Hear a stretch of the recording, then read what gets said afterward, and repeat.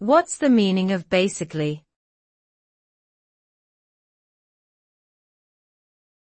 Basically.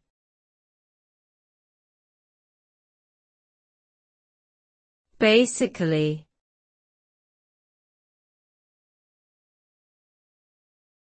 Basically.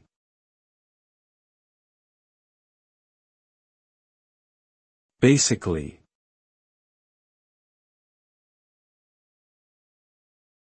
Basically, is an adverb that is commonly used in spoken and written English to introduce a summary or simplification of an idea, statement, or situation. It can also be used to indicate the speaker's confidence in their understanding of something or to clarify a point that might be unclear. The word basically suggests that what follows is a fundamental or essential explanation or description of a concept or issue, often with a focus on the most important details. However, it should be noted that overuse of the word basically can sometimes undermine the clarity or persuasiveness of communication.